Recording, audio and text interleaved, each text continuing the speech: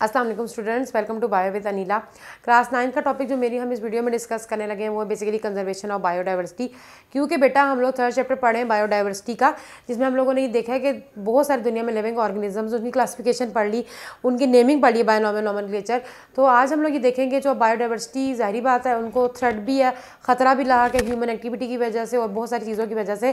तो थोड़ा बहुत कंजर्वेशन ऑफ़ बायोडाइवर्सिटी का टॉपिक डिस्कस करते हैं स्टार्ट करते हैं. बिस्मिल्लाह conservation of biodiversity biodiversity conserve का मतलब क्या होता है? सेव करना। बायोडाइवर्सिटी का मतलब है, चाहे वो लिविंग ऑर्गेनिज्म है, चाहे वो प्लांट है, चाहे वो एनिमल्स हैं, उनको बेसिकली कैसे कंजर्व किया जाता है? ये सेव किया जाता है।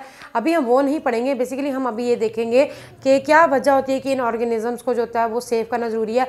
क्योंकि हमारे पास आहिस्ता आहिस्ता अगर आप जानवरों का बहुत ज़्यादा शिकार करोगे तो वो जानवर जो होते हैं वो एंडेंजर्ड हो जाते हैं। और अगर वो एंडेंजर्ड इतना ज़्यादा उनको ख़तरा लाक हो जाता है कि फिर वो आखिरकार दुनिया से ही नापैद हो जाते हैं, जिसको एक्सटेंड कहा जाता है। तो बेसिकली बेटा हमारे पास जो बायोडाइवर्सिटी है इस ये जो आपकी बुक में टॉपिक मेंशन है, इसको ज़्यादा आप लोगों ने ऐसा तफसील याद करने की ज़रूरत नहीं है, हमेशा याद रखिए। मैं तो आपकी जो बुक में एक्स्ट्रा एक बॉक्स मेंशन है, जिसमें एक्सटेंट और एंडेंजर स्पीशीज़ की डेफिनेशन है। आप बस वो टॉपिक याद करें, वो दो डेफिनेशन याद कीजिए प्लस एनिमल्स के नेम जो कि जिनको के ख़तरा है या दुनिया से एक्सटेंट हो चुके हैं, उनका थोड़ा बहुत याद करोगे तो आपका ये टॉपिक जो होता है वो कंप्लीट हो जाता है, ठीक है? बेसिकली हमारे पास दो तरह की स्पीशीज़ होती हैं बेटा। एक होती हैं जी एंडेंजर्ड स्पीशीज़ और एक होती है हमारे पास extinct species endangered species endangered कहते हैं एंड डेंजर जो कि ख़तरे में जिसको ख़तरा लहा का जी, मैं डेंजर में हूँ, ख़तरे में हूँ। ऐसी स्पीशीज़ जो कि फ्यूचर के अंदर ख़त्म होने वाली हैं, जिनको ख़तरा लहा का जिनकी आखिरी आखिरी जो स्पीशीज़ हैं, वो दुनिया में मौजूद हैं। मतलब कि अगर आपने एक भी और उसकी स्पीशी को ख़त्म किया तो वो दुनिया से ख़त्म हो जाएँगी, वो एंडेंजर्ड होती हैं। एंडेंजर का मतलब होता है ऐसी स्पीशीज़ जिसको कि ख़तरा लाहा कह के वो फ्यूचर में क्या हो जाएँगी, एक्सटेंट हो जाएँगी। एक्सटेंट का क्या मतलब होता है कि इनमें कोई डाउट नहीं होता कि उनका जो लास्ट इंडिविजुअल है, वो भी दुनिया से जो है, वो ख़त्म हो चुका हुआ है। ठीक है जी, लास्ट इंडिविजुअल हैज़ डाइड कि अब दुनिया में कोई भी उनका एक भी मेंबर जो है वो मौजूद नहीं है। बहुत सारे ऐसे हमारे पास फॉसल्स पाए जाते हैं जो कि दुनिया से ख़त्म हो चुके हैं। बहुत सारे ऐसे प्लांट्स हैं जो कि ख़त्म हो चुके हैं।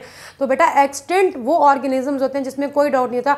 देयर इज़ नो डाउट कि उनका जो लास्ट इंडिविजुअल है वो भी दुनिया से नापैद या ख़त्म हो चुका हुआ है। और एक्सटेंट होने से पहले वो स्पीशीज़ एंडेंजर्ड होती है। एंडेंजर का मतलब होता है नियर टू एक्सटेंशन या at the risk of extinction endangered species का बेसिकली मतलब होता है at the risk of extinction जिनको कि हमारे पास रिस्क होता है कि ये इन्होंने आगे चल के क्या हो जाता है ना एक्सटेंट हो जाना है। तो हमारे पास ये एंडेंजर स्पीचीज़ हैं। थोड़े बहुत आपकी बुक में पाकिस्तान में या थोड़े एशिया के अंदर जो डिफरेंट तरह के एनिमल्स हैं, जो कि एंडेंजर्ड उनके बारे में बताया हुआ आपकी बुक में उनकी डायग्राम भी मैंशन है। ओके एक्सटेंट क्या है? जिनका लास्ट इंडिविजुअल भी जो दुनिया से ख़त्म हो चुका है। फॉर एग्ज़ाम्पल आप इसमें एग्ज़ाम्पल दे सकते हो। सबसे कॉमन डायनासोर डायनासोर जो है, वो आपको पता है कि दुनिया से ख़त्म हो चुके हैं। ज़मीन में डिफरेंट टाइम पीरियड्स आए थे जोरेस्टिक टाइम पीरियड एक आया था जिसपे बहुत सारी मूवीज़ भी बनी है। तो बेसिकली बेटा, ये वो टाइम पीरियड था जब डायनासोर थे, और यही कहते हैं कि नेचर नहीं उनको ख़त्म करना चाहती थी, मजीद वो अपने ही सर्वाइव करते थे। तो यही थियरी है कि एक बहुत बड़ा शहाब साकिब जो था, वो गिरा था उस एरिए पर। आपको पता है, जब भी कोई ऐसी चीज़ गिरती है तो एक शॉक वेव प्रोड्यूस होती है। तो शॉक वेव प्रोड्यूस हुई थी जिसकी वजह से वो जितने एनिमल्स थे उस आइलैंड पर या जहाँ पर भी थे, वो उधर ही ख़त्म हो गए थे, और with the passage of time क्योंकि वो तो ख़त्म हो गए। ज़मीन पर गिरे आहिस्ता आहिस्ता मट्टी उन पर पड़ती गई, वो डिपॉजिट होता कि ज़मीन के अंदर फ्लश वगैरह या गोश्त उनका ख़त्म हो गया। पीछे रह गई उनकी बोन्स जो कि फॉसल्स बनी और प्रिजर्व हो गई। तो जिसमें हम लोगों ने पढ़ा था पेरेंटोलॉजी जब हम लोग नाइन्थ में ब्रांचेस पढ़ी है, कुछ वीडियो स्टार्ट की वीडियोज़ में आप देखो तो उसमें हम लोगों ने पढ़ा था स्टडी ऑफ़ फॉसल्स जिसमें डायनासॉर्स का ज़िक्र था। बताने का ये मतलब है कि ये एक्सटेंट हो चुकी, दुनिया से ख़त्म हो चुकी हैं। ओके अभी कुछ एनिमल्स के नाम लिखे हैं जिनको कि एंडेंजर स्पीशीज़ डिक्लेयर कर दिया गया। बाकायदा नेट पे जाओ तो आप एंडेंजर स्पीशीज़ की लिस्ट खोलो तो लिस्ट भी आ जाएगी कि पाकिस्तान के कौन से ऐसे एनिमल्स हैं ये पूरी दुनिया के कौन से ऐसे एनिमल्स हैं जो कि एंडेंजर्ड हैं। बाकायदा रेड लिस्ट एक, जो जो है वो शाया की गई है, जिसमें बताया गया कि इनको मज़ीद जो है इनका ना किया जाए यूज़ या इनको ना हंट किया जाए, ना प्लांट्स हैं तो उनकी कटिंग की जाए, क्योंकि वो एंडेंजर स्पीशीज़ है। जैसे मिसाल के तौर पर लाइन हो गया टाइगर हो गया, ये पाकिस्तान के बेसिकली या एशिया के बताए हुए एशियाटिक चीता है हमारे पास स्वैप डियर है ब्लैक बक और हैंगवेल ये सारे जो बेसिकली ये जो ब्लैक बक जो है, काला हिरन ख़ास तौर पर इसकी तो नस्ल बिल्कुल ही नापैद हो रही है। लाइन और टाइगर भी हमारे पाकिस्तान में या ओवरऑल कम होते जा रहे हैं। क्योंकि बेसिकली बेटा टाइगर को तो हंट किया जाता है उसकी खाल के लिए, बहुत ज़्यादा उसको हंट किया जाता है। लोग डेकोरेशन पीस के तौर पर घरों में जो होता है वो सजा रहे हैं।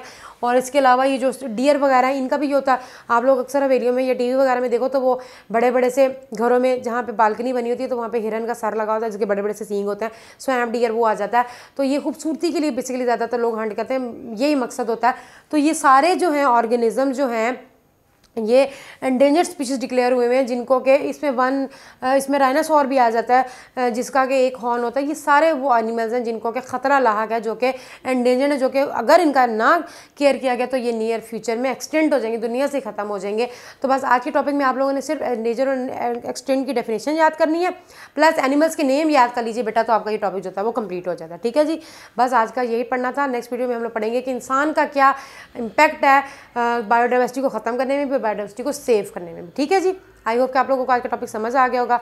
नेक्स्ट वीडियो तक के लिए अल्लाह हाफिज़, दुआ में याद रखिएगा।